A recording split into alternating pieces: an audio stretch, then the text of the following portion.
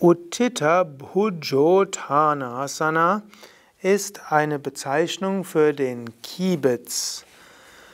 Ausgangsposition ist die Stehhaltung. Von hier gibst du die Füße etwa 50 bis 70 Zentimeter weit auseinander, gibst die Hände hinter die Fersen, du beugst die Ellbogen, setzt die Oberschenkel über die Oberarme und verschränkst die Fußrücken. Das ist Uttita Bhujottanasana. Uttita Bhuja heißt die aufgerichteten Schultern und Uttanasana heißt wiederum die Stehhaltung. Du bist also im Stehen bei aufgerichteten Schultern oder man könnte auch sagen, du bist du stehst auf den Händen und hast die Oberschenkel über den Oberarmen. Diese Stellung stärkt die Arme und die Knie und hält den Fluss von Apanavayu normal.